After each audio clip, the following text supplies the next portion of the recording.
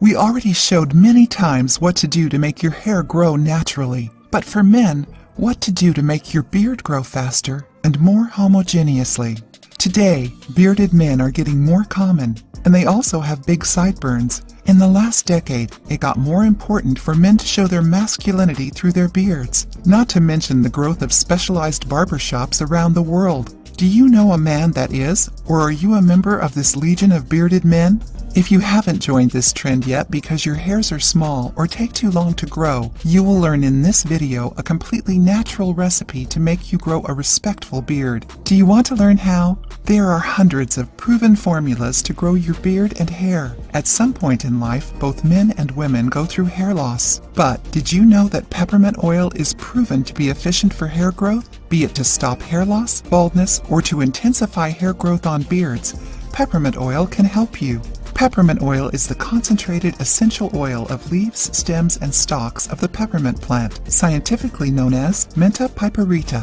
The main ingredient of peppermint oil, menthol, is mainly responsible for its beneficial effects. It produces a refreshing sensation and is commonly used as an aromatic in foods and beverages, and also as a fragrance for soaps and cosmetics.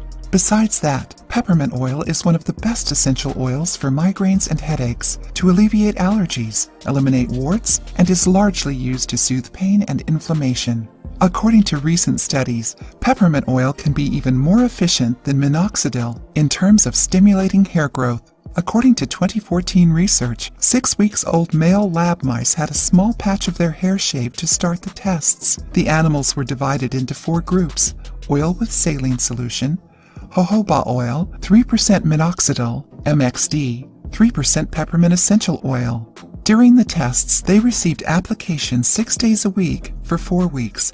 Throughout the research, photos were taken to visually follow the hair growth. Besides that, skin biopsies were also done to analyze the quality of the hair follicles. The results were that the oil with saline solution and the jojoba had minimal visible results. However, minoxidil and peppermint oil both showed visible results in hair growth after the second week and during the rest of the treatment.